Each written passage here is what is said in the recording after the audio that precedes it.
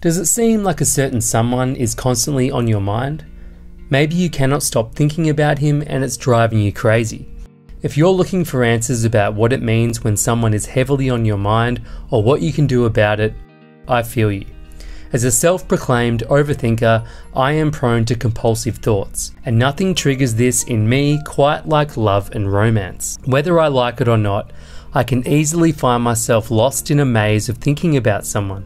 Sometimes so much so that I can't sleep, eat, or concentrate on other things.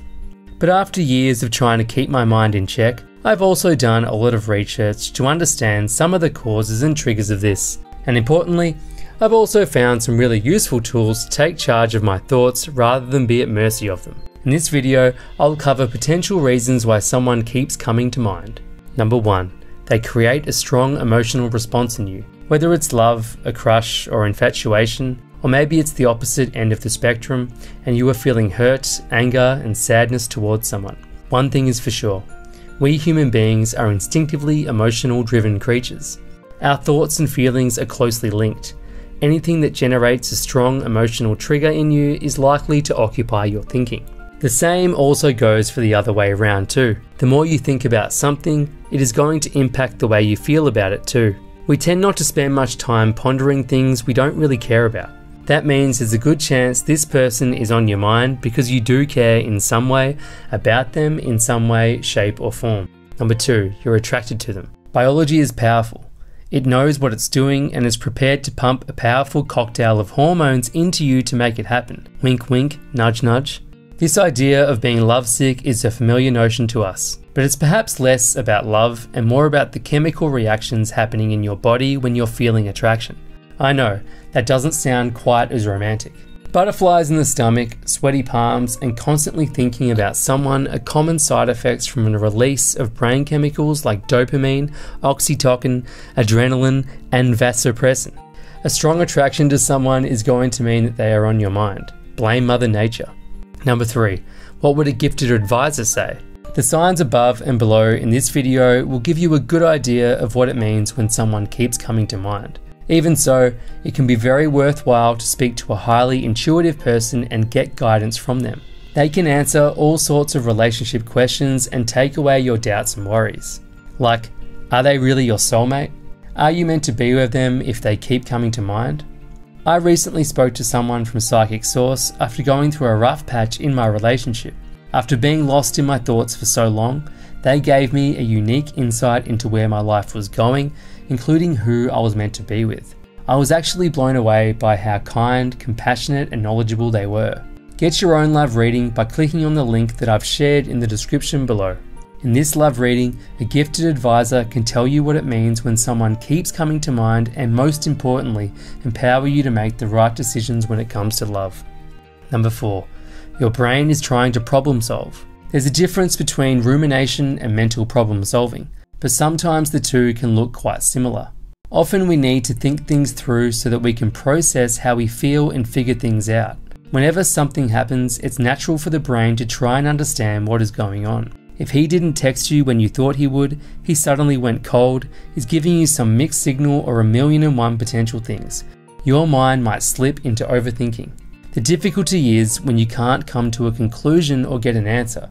Repetitive thoughts start to occur. Your brain cannot crack the code or find a solution, so it just goes around and around in an endless loop. It's no wonder all that mental energy spent is exhausting and can create anxiety. This is what we'd call rumination and falls more into the category of dwelling on things that we cannot change or control. Number 5. You're romanticizing. Do perfect rom com style scenarios play out in your brain? Can you picture him down on one knee or envisage you two kissing in the rain? Do you find yourself drifting off into visualizations about your future life together? The dog you'll buy, the home you'll live in, and the trips you'll take together?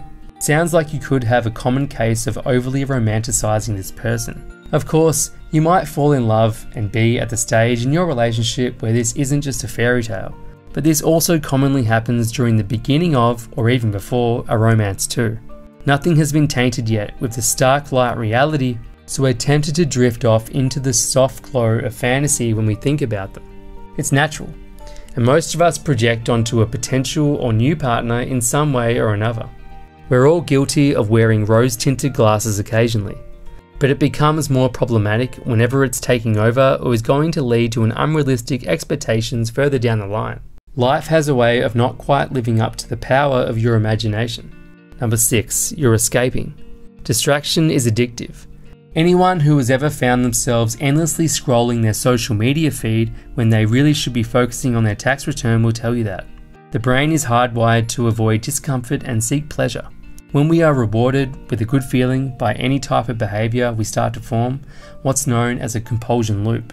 We repeat the behavior so we can be rewarded with another little neurochemical hit of dopamine. So, if thinking of someone creates a good feeling, it's easy to see how we want to keep repeating that especially when the alternative is something somewhat more mundane. It's a similar situation when daydreaming. As many as 96% of adults will engage in at least one episode of daydreaming a day. Daydreaming can be characterized as thinking for pleasure. And even though daydreaming may have been given a bad rep over the years, recent research has found that it does bring health benefits, including increased well-being or improved pain tolerance. So now you have probably got some possible reasons why someone keeps coming to mind. But if you really want to find out what it means when someone keeps coming to mind, don't leave it up to chance. Instead, speak to a real, certified advisor who will give you the answers you're searching for.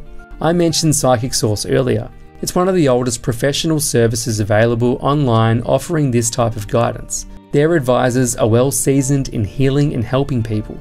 When I got a love reading from them, I was surprised at how knowledgeable and understanding they were. They helped me out when I needed it most, and that's why I always recommend their services to anyone facing doubts regarding love.